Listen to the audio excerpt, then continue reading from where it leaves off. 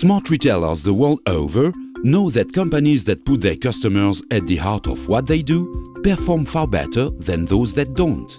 Being customer-centric means putting the needs and wants of your customers first. The more customer-centric you are, the more likely your customers are to recommend and repurchase. But is customer centricity really that important in France? And if it is, how do you achieve success? To find out, customer science company dunnhumby collected 5,000 responses from shoppers to get their views on the top 25 grocery retailers and determine how successful they were at meeting their wants and needs. The responses were used to create the dunnhumby Customer Centricity Index, which benchmarks a retailer's performance in the eyes of its customers across seven different criteria, with a score from 0 to 100.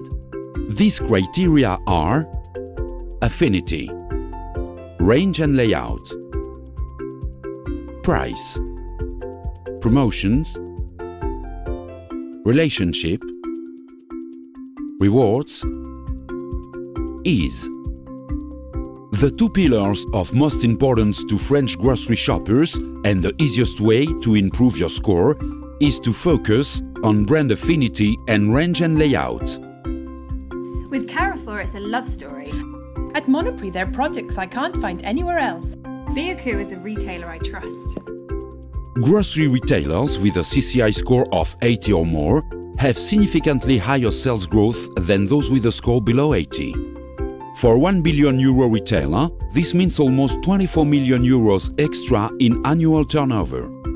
Yet, almost two-thirds of grocery retailers have a CCI score of less than 80, therefore are missing out the opportunity to increase sales growth and market share.